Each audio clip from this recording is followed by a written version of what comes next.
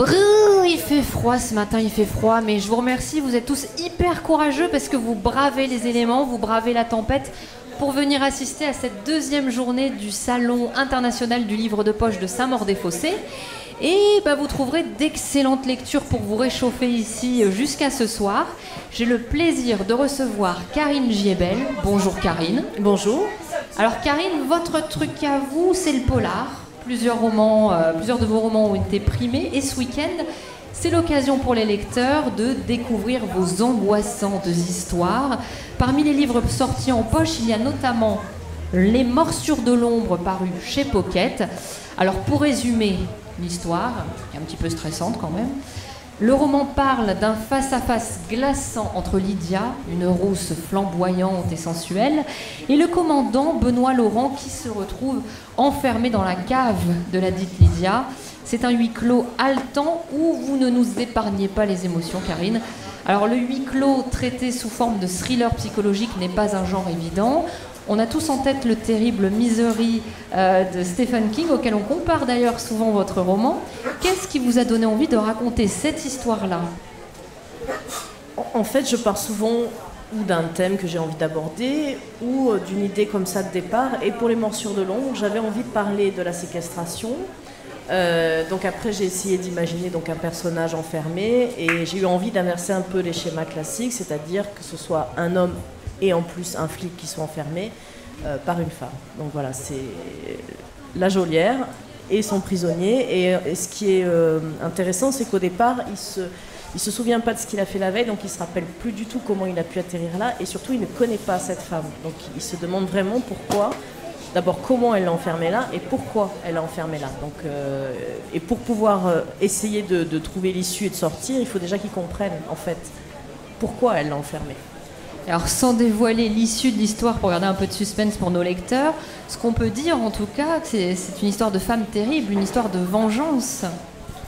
Alors au départ, c'est vrai que Benoît, qui est enfermé dans cette cave, ne, sait pas justement si elle est simplement folle ou si euh, elle a un objectif particulier. Effectivement, euh, sans en dire trop, euh, il s'agira d'une vengeance envers ce flic.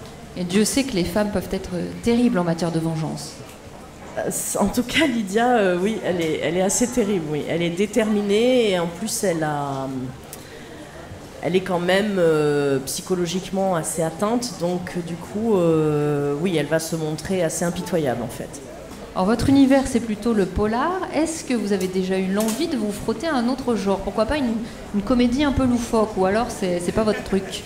Non, à vrai dire, pour l'instant, j'ai écrit que du noir. Et euh, je me sens assez à l'aise dans ce genre en fait. Et j'ai pas l'impression que je serais très douée pour faire autre chose. Mais je dis pas jamais, je dis que pour l'instant, j'ai encore tellement de choses à écrire dans, dans, dans la littérature noire que voilà, je, je, reste dans ce genre pour le moment. Alors, euh, pour votre dernière publication qu'on peut trouver sur votre stand, nous avons donc juste une ombre paru chez Fleuve Noir, donc pas encore sorti en poche, mais ça pourrait euh, arriver. Pourquoi est-ce qu'il faut le lire celui-là? Alors celui-là, donc juste une ombre, le dernier, c'est un thriller psychologique. Donc euh, c'est l'histoire d'une femme qui est euh, très arriviste, qui est prête à tout pour, enfin qui a une brillante carrière d'ailleurs, mais qui veut aller encore plus loin et qui est prête à tout pour, pour réussir et qui euh, un soir se fait suivre dans la rue. Et à partir de ce moment-là, elle a l'impression d'être constamment épiée, surveillée. Euh, euh, elle a l'impression qu'on rentre chez elle quand elle n'y est pas, etc. Et, et à partir de ce. Enfin, progressivement, ça va la faire basculer. ça va détruire un peu cette vie si parfaite. Euh, est-ce qu'elle devient paranoïaque ou est-ce que vraiment quelqu'un la persécute? Voilà, c'est ça l'intrigue du roman en fait, et, c'est surtout le, de voir quelqu'un qui comme ça était tout en haut euh, descendre progressivement à cause justement simplement du nombre. Alors supposons euh, que vous êtes enfermé dans une cave, je ne vous le souhaite pas Karine, mais si vous êtes comme ça dans un huis clos, vous aimeriez avoir quoi comme livre de poche avec vous pour vous occuper un petit peu l'esprit?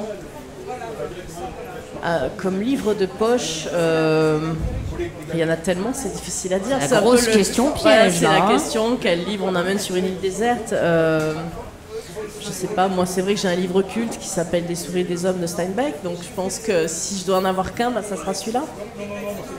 On vous voit jusque quelle heure aujourd'hui, Karine? Euh, donc je suis là jusqu'à midi et demi et ensuite euh, jusqu'à 16h. On aura le plaisir donc de découvrir tous vos romans sur votre stand. Merci à vous et bonne continuation. Merci.